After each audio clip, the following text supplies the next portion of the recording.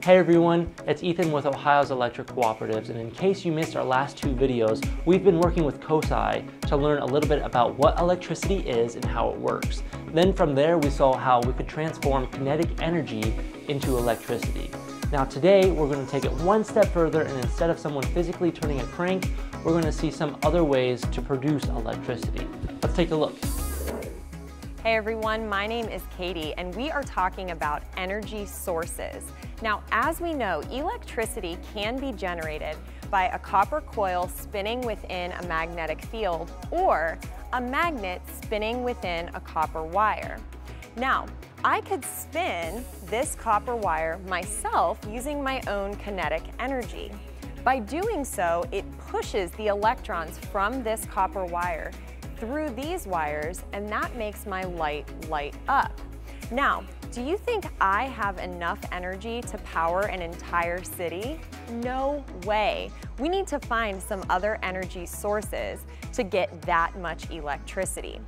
Now, this is a simple wheel and axle. Like I said, I could spin that wheel with my own hand, or we could attach something called a turbine.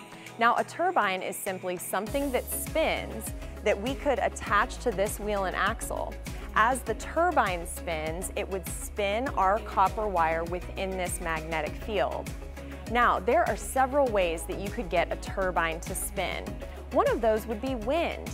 As the wind blows, it pushes on the blades of that turbine, making it spin, and then making our copper wire spin. Another way we could make the turbine spin is with water.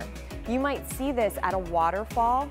Anytime gravity is pulling water down, water could push on those blades of the turbine, making them spin. And then another way that we could get energy for a turbine is by burning something like coal. When we burn something and it gets really hot, we can use that to boil water.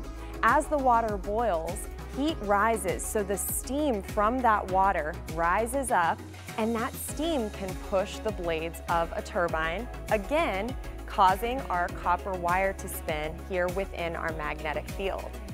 Hey, thanks for joining me here at COSI, where we love asking questions and diving deeper into the science that powers the world around us.